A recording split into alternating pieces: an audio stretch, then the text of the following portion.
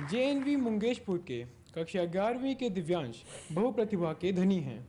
इन्होंने NCC Bharat scout एवं guide और पार्टी सहगामी गतिविधियों में सक्रिय रूप से भाग लिया है। अब मैं आमंत्रित करता हूँ जेएनवी मुंगेशपुर के दिव्यांश को कि वह अपना प्रश्न पूछें। A very good morning, Honorable Sir. I am Divyansh Singh from Jawahar Navodaya Vidyalaya, Mungeshpur, Delhi. I am the student of 11th Science.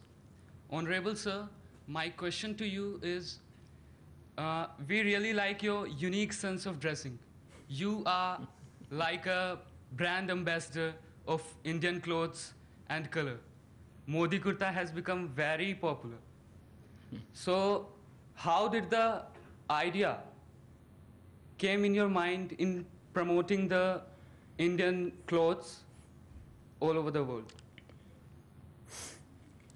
देखिए, ये कुछ बाज़ार में बड़े भ्रम चलते हैं कि मोदी का कोई फ़ैशन डिज़ाइनर है। और मैंने देखा, मैं तो हैरान था, कुछ फ़ैशन डिज़ाइनर भी खुद अपने आप को क्लेम करते हैं कि हम मोदी के फ़ैशन डिज़ाइनर हैं। अब हम हर सवालों का जवाब कहाँ देते रहे तो हम कभी बोलते नहीं, लेकिन न मैं किसी फ़ैशन डिज़ाइनर को जानता हूँ, न मैं किसी फ़ैशन डिज़ाइनर को मिला हूँ। मेरी ज़िंदगी की कथा ऐसी है मैंने बहुत छोटी आयु में घर छोड़ दिया था। मैं परिव्राजक के रूप में पैंतीस, चालीस साल तक घूमता रहा। तो एक छोटा सा बैग रहता था मेरे पास। वो, वही मेरा संसार था। उसमें एक दो पर कपड़े रहते थे, एक आध दो किताब रहती थी और वही मैं लेकर के घूमता रहता था।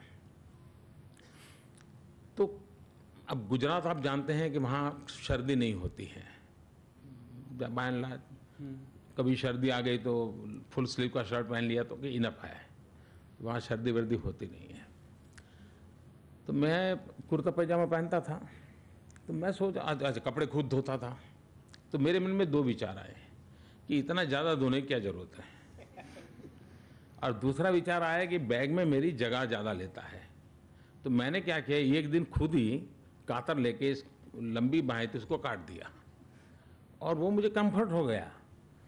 और तब से ये चल रहा है।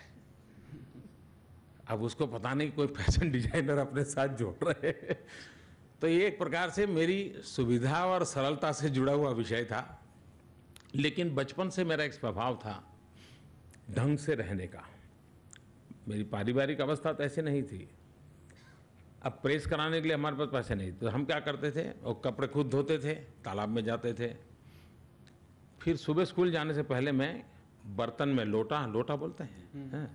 उसमें कोयला रख देता था गर्म कोयला और फिर उसी से प्रेस करता था। और फिर स्कूल पहन करके बड़े ठाट से जाता था। तो अच्छी तरह रहने का एक स्वभाव पहले से बना था। हमारे एक रिश्तेदार ने हमको एक बार जूते गिफ्ट किए थे कैनवास के। तो शायद वो उस समय दस रुपये के आते होंगे। तो मैं क्या करता था स्कूल में क्लास पूरा होने के बाद क्लास में थोड़ी देर रुक जाता था। और जो चॉकस्टिक से टीचर लिखते थे और टुकड़े फेंक देते थे, वो इसे इकट्ठे करता था और ले आता था। और फिर दूसरे दिन मेरे वो कैनवास के सूच पे चॉकस्टिक से उसको लगा देता था वाइट लगते थे।